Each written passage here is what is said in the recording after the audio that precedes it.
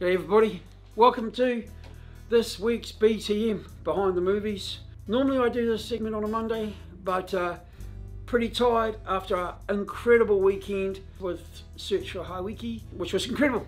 Andrew and I both had a great time on that. I want to address something that's happened this week. On Sunday while I was on set and I was up to my neck in work, got a message from an extremely good friend of mine. Can I step in and provide some background extra work for a production.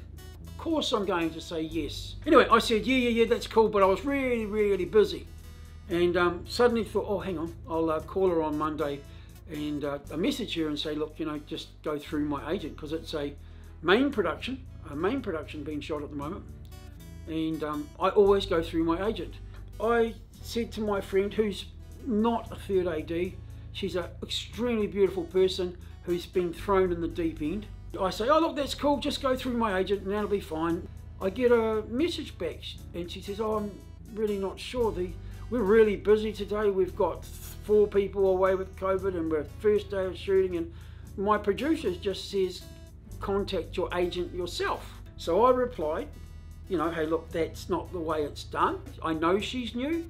So I'm thinking, well, hang on, she's been misguided here. So I said, look, you know, we as performers, whether we're at the extra level or the close up feature level, we're still doing our job.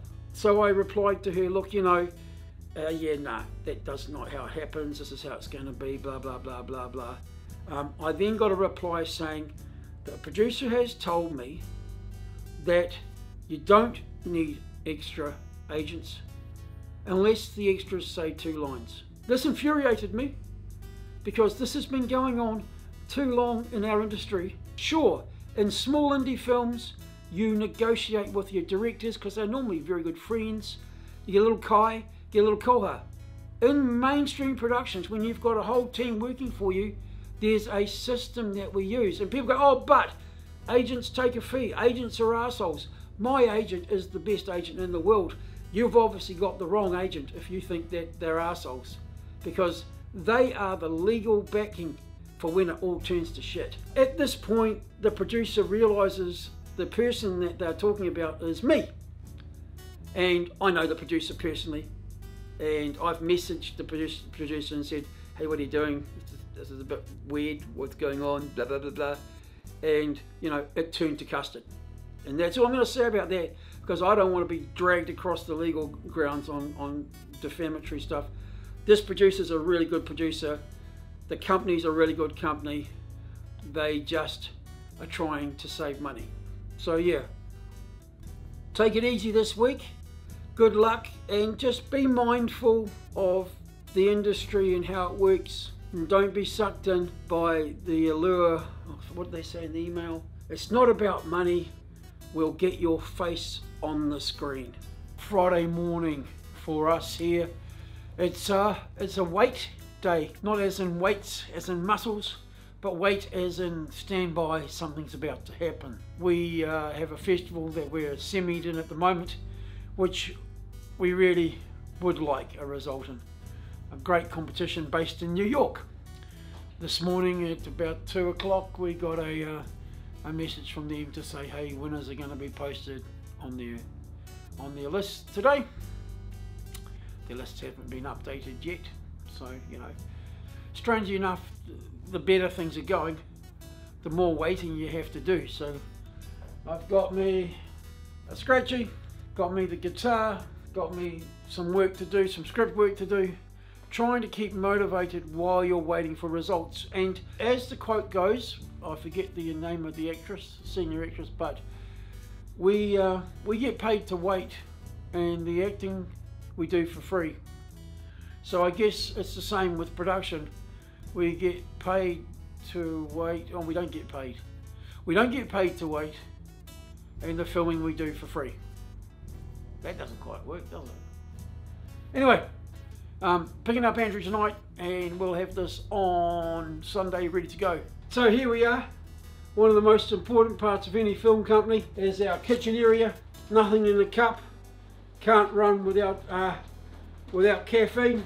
So uh, we start here with a coffee machine And obviously Andrew hasn't graduated to coffee yet.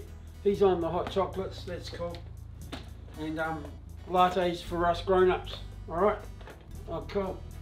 It's just a nice little unit that we got at the Wadi Fuddy. Um, just be nice to have hot drinks out here instead of going to the kitchen. What didn't we do? Third. Ladies and gentlemen, the first hot chocolate of Morgan Movies. Look at that.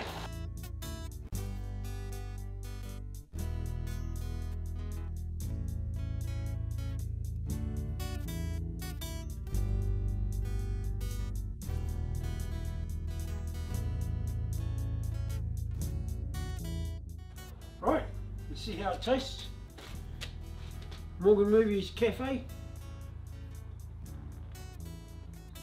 Oh, mine's hot. That's nice. Good. Yeah. That's good, eh? Mine's hot. Now we can literally say, if you're having a bad day, come up and see us. We've got coffee and hot chocolate. You're welcome. Come and join us for a hot drink. Anytime. Unless I'm asleep, then you have to wake up Andrew. So that's going to do it for us this week. Unfortunately, we did not get a positive result back from that New York festival. Oh well, we ended up being a semi-finalist in that. It's pretty far anyway. Uh, but if you enjoyed this video, you enjoyed seeing the coffee machine and all that, make sure to leave a like, leave a comment, uh, and subscribe. Um, and if you want to support us even further, you can check out our Patreon at the link in the description below. And aside from that, uh, we have a good week, and we'll see you later. Bye!